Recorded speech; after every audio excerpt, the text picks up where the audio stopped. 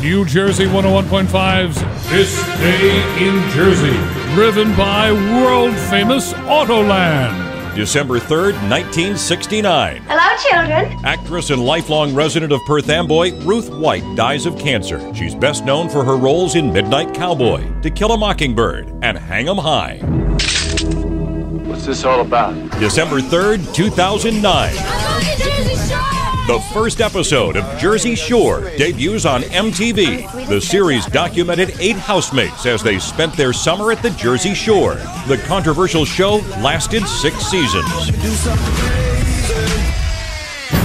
New Jersey 101.5's This Day in Jersey, driven by world famous Autoland, home of the $109 lease.